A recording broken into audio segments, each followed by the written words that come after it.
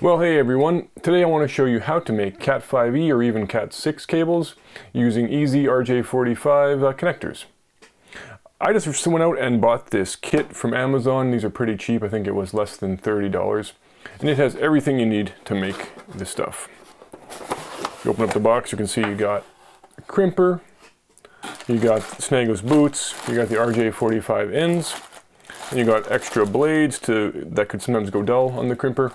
And so this is great to have all this stuff, and it's basically everything you need. Sometimes I'll also use a pair of snips for one little part of it, and of course you're gonna need uh, Cat5 or Cat6 cable.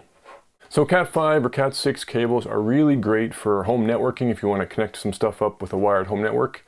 And now they also have tons of uses in, in audio production as well, either for like Dante networks or other digital audio networking, for personal monitor systems, even for LED screens. There's actually tons of uses for Cat5 and Cat6 now, so this is a good skill to have.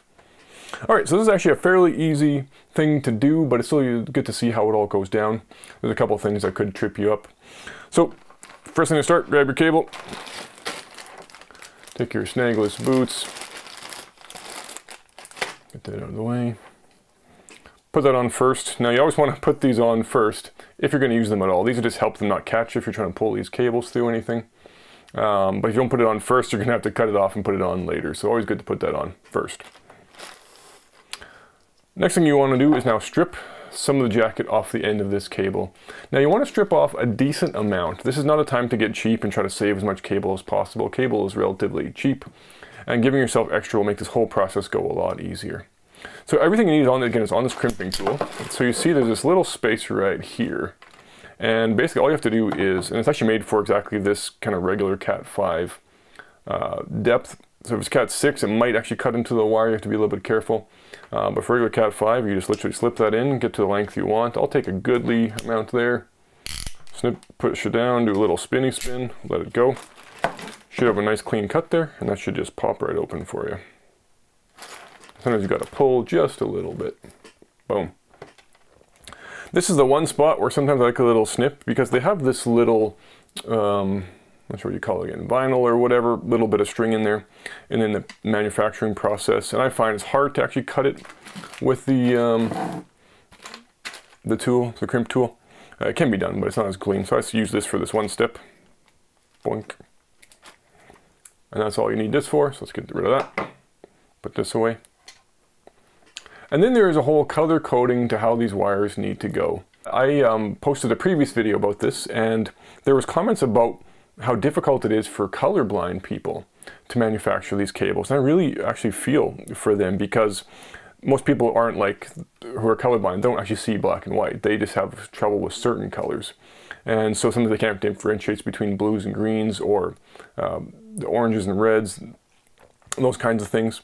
So what some people who are colorblind who have tried to work in networking I've figured out a system where they can, the, the colors they can identify, they work with that to try to identify the rest because normally these are wrapped in a certain order. I actually didn't keep track of that well enough, but apparently it's always the same ones in the same order. So if you can identify one color, you should be able to then just by deduction identify the others. And so interesting little note there anyway. All right, so what you want to do is start getting, think about how the order you want these in and start, as you're taking them apart, get them ready. And so it's actually right on the crimping tool, but I'm also going to put up a chart there. And there's an A and a B standard for how the order of these color coding. And B standard seems to be what everything is going to. I'm not sure. There's probably a big technical explanation for why. But anyway, I just noticed that almost everything you get now is, is standard uh, B. So that's white, orange, orange, white, green, blue, white, blue, green, white, brown, brown. So, so what some people do is to get these pairs apart, they actually use the extra little bit of the jacket that they took off and they kind of slip that in between and then they kind of pull it apart. That actually works fairly well. I sometimes do that, sometimes use my fingers, just whatever works better for you. So again, this one starts with white orange, so I'm going to put that to the side. Now what I like to do is get these nice and straight. I'll, I find that if these aren't straightened out well, they're much harder later on. So if you give yourself a couple extra seconds here, you'll save tons of time later.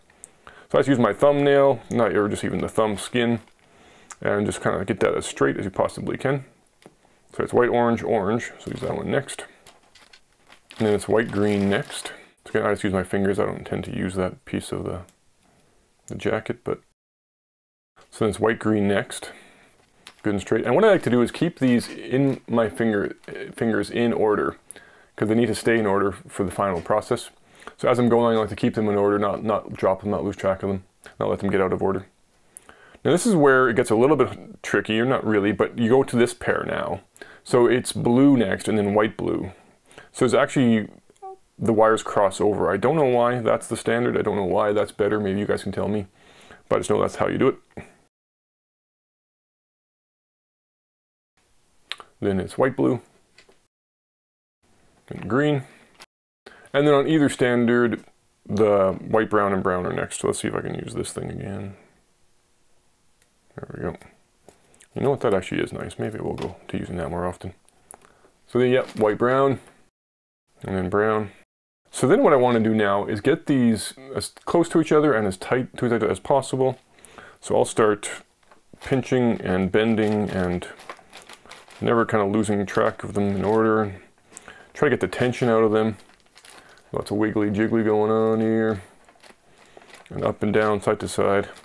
And the hope is to get these as tight together as possible and in the correct order. And you get a nice clean, relatively straight line. That looks pretty good to me. And then you need a nice clean end on that. So this is again where you use the, the snip tool. And in this little thing here, we'll cut them. So I'll just make sure they're in there in the right order, slide them straight. So show the camera better here. One second. There we go. And you get a nice clean cut. You know what, because I'm trying to show the camera, I didn't get a nice straight cut. Let me try that again. It's also a nice thing if you keep extra, then you can get a little extra off of there. There we go, now I got a nice clean cut. And they're all nicely in order still. This is where you grab the RJ45 connector. Now, to get this in the correct order, when you have these in this order that we talked about, uh, you want to see these metal pins and you want the tab down. That's actually the correct way to install that. There we go. So then if you've gotten these nice and straight, if you have that cut nice and straight, uh, you should be able to just slide those in and they should go in first try nice and easy. My first try of doing these, it was not nice and easy. It was a big pain. It took me like eight tries and it's because I didn't straighten these out enough. So really make sure you get them good and straight, good and cut clean. And that should just slide right in nice and easy and that'll save you tons and tons of time. Now you want to shove this in as far as, as humanly possible. With Cat 6, some people will say not to shove this quite this far because uh, it might actually pinch this in, but on these cables, since it's a little bit thinner in diameter, it's no problem if you want to do that. Get that good in there, good and solid. And then on the back on the crimping tool, is where it does the actual crimping. There's one that says 8P here, and that's the one you want to use because there's eight pins. Slide that into there, make sure you don't get the cables caught as they go in, they sometimes want to do. There we go, it slides all the way through, you see there. Push that in while you're going and then just clamp it down. And that's a nice job that it cuts the end off as well of those wires. And you get a nice clean connection there. I was verified it was in the correct order once one more time. So white, orange, orange, white, green, blue, white, blue, green, white, brown, brown. Perfect. And you slide the snagless boot on. Just gotten a little tight. There we go. And that is not going on straight. there we go. And that is done. Get yourself now one end. So of course you want to repeat this thing on the other side. Make sure again you use the exact same uh, wire standard, otherwise you're going to have problems. And that's your Cat, Cat 5 cable done. Now it's really good if you have a cable tester to make sure that at the very least all the pins are working. There's ones that test the speed as well. Make sure everything is flowing exactly fully properly. Um, I don't have one right now, but that this one should work. So I'll do the other side. One way to test it, of course, is to plug it in and see if the things work. Um, but that's your Cat 5 cable for you, really handy. And there's this whole way, again, if using this in the, in the audio production world, that you can add a Neutrik Ethercon end to it. And that's very helpful and very handy. And take care. God bless.